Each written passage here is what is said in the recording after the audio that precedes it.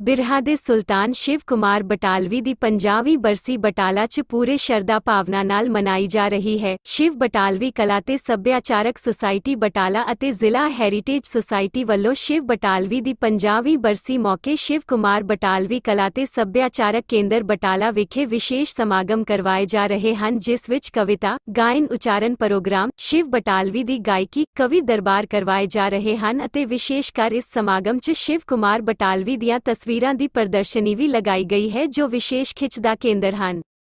ਉੱਥੇ ਹੀ ਸ਼ਿਵ ਬਟਾਲਵੀ ਕਲਾ ਤੇ ਸੱਭਿਆਚਾਰਕ ਸੁਸਾਇਟੀ ਬਟਾਲਾ ਦੇ ਪ੍ਰਧਾਨ ਅਤੇ ਪੰਜਾਬੀ ਕਵੀ ਡਾਕਟਰ ਰਵਿੰਦਰ ਸਿੰਘ ਨੇ ਸ਼ਿਵ ਕੁਮਾਰ ਬਟਾਲਵੀ ਦੇ ਜੀਵਨ ਅਤੇ ਉਹਨਾਂ ਦੀਆਂ ਰਚਨਾਵਾਂ ਬਾਰੇ ਵਿਸਤਾਰ ਨਾਲ ਗੱਲਬਾਤ ਕਰਦਿਆਂ ਕਿਹਾ ਕਿ ਸ਼ਿਵ ਨੂੰ ਹਰ ਕੋਈ ਸੁਣਨਾ ਅਤੇ ਪੜ੍ਹਨਾ ਪਸੰਦ ਕਰਦਾ ਹੈ ਅਤੇ ਛੋਟੀ ਉਮਰ 'ਚ ਉਹ ਅਲਵਿਦਾ ਆਖ ਗਿਆ, ਲੇਕਿਨ ਉਸ ਦੀਆਂ ਰਚਨਾਵਾਂ ਬਹੁਤ ਡੂੰਘੀਆਂ ਹਨ ਅਤੇ ਉਸਨੇ ਹਰ ਵਿਸ਼ੇ ਤੇ ਲਿਖਿਆ ਅਤੇ ਉਸ ਨੂੰ ਬੇਖੂਬੀ ਪੇਸ਼ ਕੀਤਾ, ਜਿਸ ਦੇ ਚਲਦੇ ਸ਼ਿਵ ਬਟਾਲਵੀ ਨੂੰ ਦੁਨੀਆ ਭਰ 'ਚ ਲੋਕ ਉਸ ਦੀਆਂ ਲਿਖਤਾਂ ਰਾਹੀਂ ਯਾਦ ਰੱਖ ਰਹੇ ਹਨ।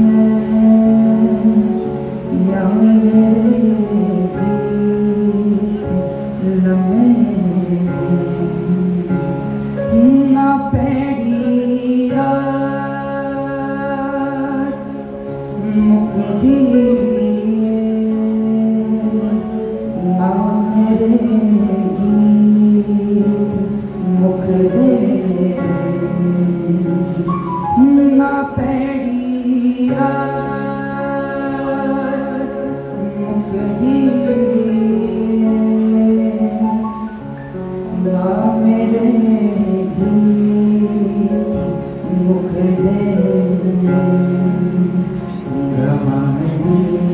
Rama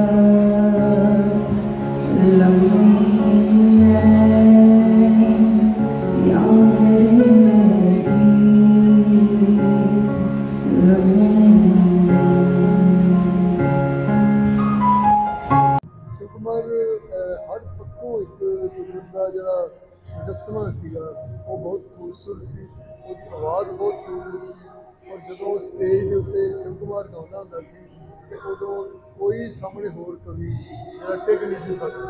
ਉਹਨੂੰ ਚਾਹ ਕੇ ਵੀ ਕੋਈ ਬੂਟ ਨਹੀਂ ਸੀ ਕਰ ਸਕਦਾ। ਮੈਂ ਖੁਦ ਉਹਦੇ ਬਚਪਨ ਦੇ ਵਿੱਚ ਕਾਫੀ ਪ੍ਰੋਗਰਾਮ ਘੱਟ ਤੋਂ ਪੰਜ ਦਸ ਸੁਣੇ ਹੋਣਗੇ।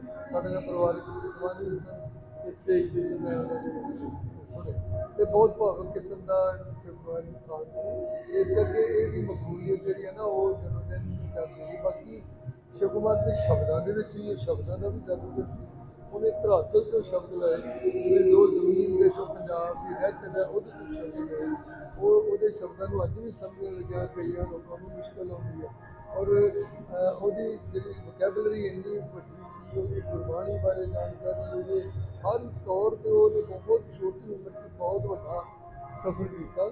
ਚਾਹੇ ਬਟਾਲੇ ਦੇ ਲੋਕਾਂ ਨੇ ਉਹਨੂੰ ਪਿਆਰ ਵੀ ਕੀਤਾ ਤੇ ਕਦੀ ਕਦੀ ਉਹਨੂੰ ਉਹਨੂੰ ਉਹਨੂੰ ਵਰਤਿਆ ਵੀ ਕਹਿ ਲਓ ਵੀ ਉਹਨੂੰ ਆਪਣੀ ਮਹਿਫਲ ਰੰਗੀਨ ਕਰੋ ਦੀ ਉਹਨੂੰ ਪੱਕਾ ਸੁਣਨਾ ਨਹੀਂ। ਸੁਣਨਾ ਜਿੱਦ ਤੋਂ ਨਿਰਾਸ਼ ਹੁੰਦਾ ਸੀ। ਉਹਦੇ ਕਰਕੇ ਉਹਨੇ ਦੁਖੀ ਹੋ ਕੇ ਇੱਕ ਵਾਰ ਲਿਖਿਆ ਸੀਗਾ ਕਿ ਲੋਹੇ ਦੇ ਸ਼ਹਿਰ ਵਿੱਚ ਪਿੱਤਲ ਦੇ ਲੋਕ ਰਹਿੰਦੇ ਸ਼ੀਸ਼ੇ ਦਾ ਵੇਸ ਪਾਉਂਦੇ ਸਿੱਕੇ ਦੇ ਬੋਲ ਖੋਲ ਇਸ ਤਰ੍ਹਾਂ ਉਹ ਕਈਆਂ ਗੱਲਾਂ ਦੇ ਵਿੱਚ ਸ਼ੁਭਮਨ ਨਿਰਾਸ਼ ਵੀ ਹੁੰਦਾ ਸੀ ਕਦੀ ਕਦੀ। ਪਰ ਸ਼ਾਇਦ ਨੇ ਉਹਨੂੰ ਪਿਆਰ ਵੀ ਕੀਤਾ ਪਰ ਹੁਣ ਆ ਜਿਹੜੀ ਅੱਜ ਦੀ ਆਜ਼ਾਦ ਮਨਾਈ ਜਾ ਰਹੀ ਹੈ ਦੇਰ ਬਾਅਦ ਇਹ ਬਹੁਤ ਦੇਰ ਪਹਿਲਾਂ ਹੋ ਜਾਣਾ ਚਾਹੀਦਾ ਸੀ ਪਰ ਹਮੇਸ਼ਾ ਇਦਾਂ ਹੀ ਹੁੰਦਾ ਰਿਹਾ।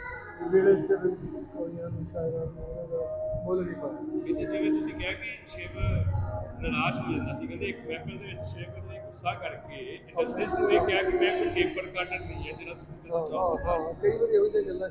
ਇੱਕ ਵਾਰ ਇੱਕ ਮੈਂ ਆਪ ਆ ਉਹ ਪ੍ਰੋਗਰਾਮ ਲਿਖਿਆ ਖਾਲਸਾ ਸਕੂਲ ਚ ਹੋਇਆ ਸੀ ਕਿ ਉਹਦੇ ਆਸਾ ਸਿੰਘ ਮਸਤਾਨਾ ਸੁਰਿੰਦਰ ਗੌਰ ਵੀ ਆਏ ਸੀ। ਸ਼ਿਵ ਕੁਮਾਰ ਨੇ ਆਪਣੇ ਪੈਨ ਕੱਢ ਕੇ ਤੇ ਅਹ, ਤੇ ਕਿਹਾ ਕਿ ਮੈਂ ਆਪਣਾ ਪੈਨ ਦੀ ਬੋਲੀ ਲਾਉਣਾ।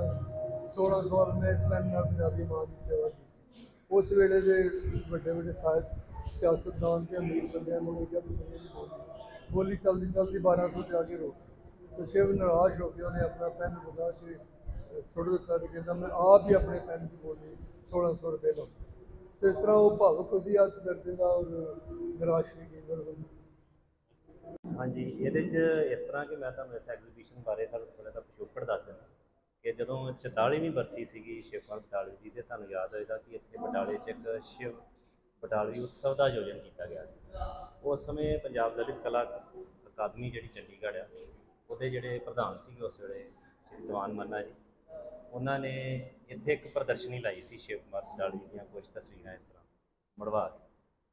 ਤੇ ਉਸ ਤੋਂ ਬਾਅਦ ਫਿਰ ਉਹਨਾਂ ਨੇ ਇਸ ਪ੍ਰਦਰਸ਼ਨੀ ਨੂੰ ਵੱਡੇ ਲੈਵਲ ਤੇ ਪਲਾਨ ਕਰਨ ਤੇ ਅਗਸਤ ਦੇ ਵਿੱਚ 4 ਅਗਸਤ ਤੋਂ ਲੈ ਕੇ ਤੇ ਅਹ, 14 ਅਗਸਤ ਤੱਕ 2017 ਚ ਜਿਹੜੇ ਕਿ 44ਵੀਂ ਬਰਸੀ ਸੀ ਸ਼ਿਵ ਮਟਾ ਸ਼ਿਵ ਬਟਾਲਵੀ ਦੀ ਉਦੋਂ ਉਹਨਾਂ ਨੇ ਉਪਰਾਲਾ ਕੀਤਾ ਕਿ ਉਸ ਮੌਕੇ ਤੇ ਸਾਰੇ ਦੁਨੀਆ ਦੇ ਵਿੱਚੋਂ ਜਿੱਥੇ ਜਿੱਥੇ ਵੀ ਸ਼ਿਵ ਕੁਮਾਰ ਬਟਾਲਵੀ ਦੇ ਸਨੇਹੀ ਬੈਠੇ ਜਾਂ ਉਹਨਾਂ ਕੋਲ ਉਹਨਾਂ ਦੀਆਂ ਕੋਈ ਪੁਰਾਣੀਆਂ ਤਸਵੀਰਾਂ ਦੀ ਕਲੈਕਸ਼ਨ ਹੈ ਤਾਂ ਉਹਨਾਂ ਨੂੰ ਇੱਕ ਥਾਂ ਤੇ ਇਕੱਤਰ ਕਰਕੇ ਤੇ ਪ੍ਰਦਰਸ਼ਨੀ ਲਗਾਈ ਜਾਵੇ।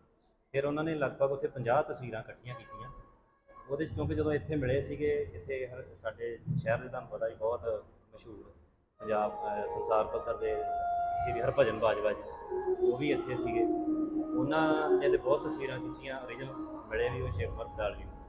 ਤੇ ਮੇਰਾ ਵੀ ਇੱਕ ਸ਼ੌਕ ਸੀਗਾ ਇਸ ਤਰ੍ਹਾਂ ਤਸਵੀਰਾਂ ਇਕੱਠੀਆਂ ਕਰਨ ਦਾ। ਤੇ ਪਰ ਮੇਰੇ ਤੋਂ ਅੱਗੇ ਨੇ ਬਹੁਤ, ਅਹ, ਜਿਨ੍ਹਾਂ ਕੋਲ ਬੜੀ ਵੱਡੀ ਕਲੈਕਸ਼ਨ ਆ। ਸੋ ਉਹਨਾਂ ਨੇ ਇਸ ਤਰ੍ਹਾਂ ਸਾਰਿਆਂ ਕੋਲੋਂ ਤਸਵੀਰਾਂ ਮੰਗਾਈਆਂ। ਸੋ ਮੇਰੇ ਕੋਲ ਜੋ ਕਲੈਕਸ਼ਨ ਹੈਗੀ ਸੀ, ਮੈਂ ਵੀ ਭੇਜੀ। ਸੋ 50 ਤਸਵੀਰਾਂ ਦੀ ਪ੍ਰਦਰਸ਼ਨੀ ਉੱਥੇ ਚੰਡੀਗੜ੍ਹ 'ਚ ਪੰਜਾਬ ਦਾ ਲੋਕ ਕਲਾ ਅਕਾਦਮੀ ਵੱਲੋਂ ਲਾਈ ਗਈ ਤੇ ਉਹਨੂੰ ਬਹੁਤ ਵੱਡਾ ਹੰਗਾਰਾ ਮਿਲਿਆ।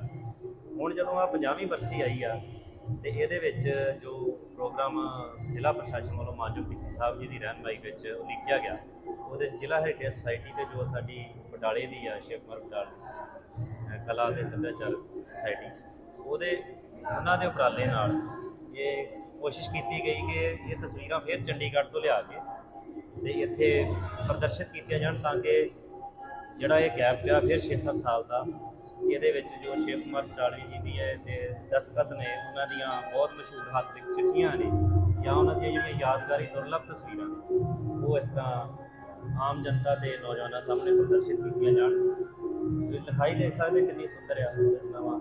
ਔਰ ਇਹ ਤਸਵੀਰਾਂ ਬੜੀਆਂ ਦੁਰਲੱਭ ਨੇ, ਇਹਨਾਂ 'ਚ ਬਹੁਤ ਸਾਰੀਆਂ ਤਸਵੀਰਾਂ ਦੇ ਫੋਟੋਗ੍ਰਾਫਰ ਤੇ ਫੋਟੋਗ੍ਰਾਫੀ ਦਾ ਸਥਾਨ ਪਤਾ ਨਹੀਂ ਹੈ। ਜ਼ਿਆਦਾ ਕਲੈਕਸ਼ਨ ਜਿਹੜੀ ਅਮਰਜੀਤ ਚੰਦਨ ਜੀ ਜਿਹੜੇ ਕਿ ਲੰਡਨ 'ਚ ਰਹਿੰਦੇ ਨੇ, ਉਹਨਾਂ ਨੇ ਦਿੱਤੀ ਆ। ਬਾਕੀ ਨਾਂ ਇੱਥੇ ਲਿਖੇ ਹੋਏ ਆ। ਦੋ ਤਸਵੀਰਾਂ ਇੱਥੇ ਸ਼੍ਰੀ ਹਰਭਜਨ ਬਾਜਵਾ ਜੀ, ਜਿਹੜੇ ਕਿ ਬਹੁਤ ਵੱਡੇ ਫੋਟੋਗ੍ਰਾਫਰ ਨੇ ਬਟਾਲੇ ਦੇ, ਉਹਨਾਂ ਦੀਆਂ ਨੇ। ਦੋ ਤਸਵੀਰਾਂ ਜਿਹੜੀਆਂ ਮੈਂ ਆਪਣੀ ਕਲੈਕਸ਼ਨ 'ਚ ਭੇਜੀਆਂ ਸੀ, ਉਹ ਵੀ ਇੱਥੇ ਪ੍ਰਦਰਸ਼ਿਤ ਤੇ ਹੁਣ ਸਾਡੇ ਵੱਲੋਂ ਤੇ ਇਹੋ ਅਪੀਲ ਆ ਕਿ ਕੋਈ ਪੱਕਾ ਅਰੇਂਜਮੈਂਟ ਕਰਕੇ ਜ਼ਿਲ੍ਹੇ ਦੇ ਵਿੱਚ ਦੋ ਤਿੰਨ ਥਾਂ ਦੇ ਉੱਤੇ, ਇੱਥੇ ਤਾਂ ਬਣਾਉਣੀ ਚਾਹੀਦੀ ਹੈ ਗੈਲਰੀ ਇਸ ਤਰ੍ਹਾਂ ਦੀ। ਪੱਕੀ ਤਾਂ ਕਿ ਇੱਕ ਆਡੀਟੋਰੀਅਮ ਵੀ ਖੁੱਲਾ ਰਵੇ ਤੇ ਆਉਂਦੇ ਜਾਂਦੇ ਲੋਕ ਜਿਹੜੇ ਸ਼ਿਵ ਦੀ ਅਸੀਂ ਯਾਦ ਨੂੰ ਜਿਹੜਾ ਉਹ ਜਿੰਦਾ ਰੱਖਣ ਤਾਜ਼ਾ ਰੱਖਣ।